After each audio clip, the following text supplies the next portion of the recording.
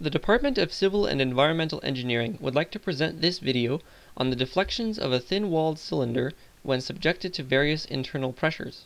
This experiment is meant to illustrate the deformation of thin-walled cylinders in two conditions, open-ended and closed-ended. Open-ended applies to pipelines, which are restricted from expanding longitudinally. Closed-end applies to isolated pressure vessels, such as boilers, and high pressure storage containers. This is an aluminum cylinder that we will be using for testing. The condition can be changed from closed end to open end by turning this knob, and thus bracing the end of the cylinder against the frame. This pump will allow us to apply pressure into the cylinder, the valve on the side will let us release that pressure when opened, and the gauge on the top will tell us the pressure inside the cylinder. In the middle of the cylinder there are six strain gauges oriented at different angles. These six gauges are all connected to the recording software here.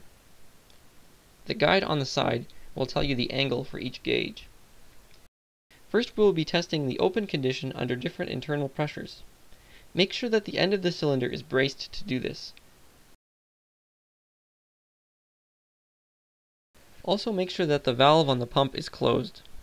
The strains on gauges numbered 1, 2, and 6 will be recorded at 6 levels of internal pressure, 0, 0.5, 1.0, 1.5, 2.0, and 2.5 megapascals. Gauges 1 and 6 will record the circumferential strain, while gauge 2 will record longitudinal strain. Zero the gauges like this. Record strains at zero pressure. Start applying pressure using the pump. For the first reading, we want 0.5 megapascals, which corresponds to 5 on the gauge here, as its increments are 100 kilopascals. Once you reach each successive pressure, stop pumping and record the strains. Once you've finished with 2.5 megapascals, open the valves like this to release the pressure. For the next experiment, we will consider strains on all six gauges in both open and closed end conditions. First, select an internal pressure to work with, we will be using 1.0 megapascals. For the open ends case, make sure that the cylinder is braced. It should still be from the last test. Close the valve and apply an internal pressure of 1.0 megapascals. Record the strain from all six gauges. Then open the valve to release the pressure. For the closed ends case, loosen the screw bracing the cylinder, as you can see here. There should now be a gap between the frame and the cylinder. Close the valve and apply an internal pressure of 1.0 megapascals. Record the strain from all six gauges.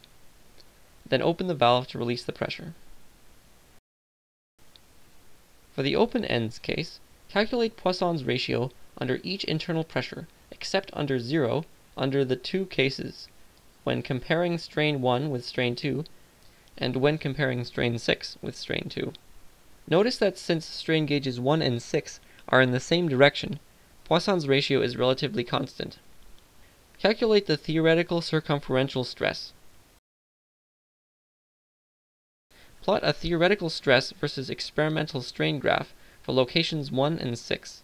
The points should be fairly close together. Dividing stress by strain gives us the modulus of elasticity.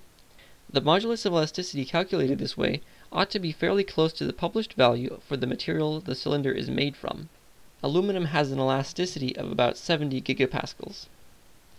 For the fixed ends test, calculate the experimental stress in both directions under both open ends and closed ends conditions.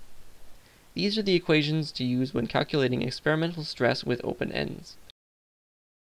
And these are the ones to be used with closed ends. Also calculate the theoretical stress in both directions under both cases.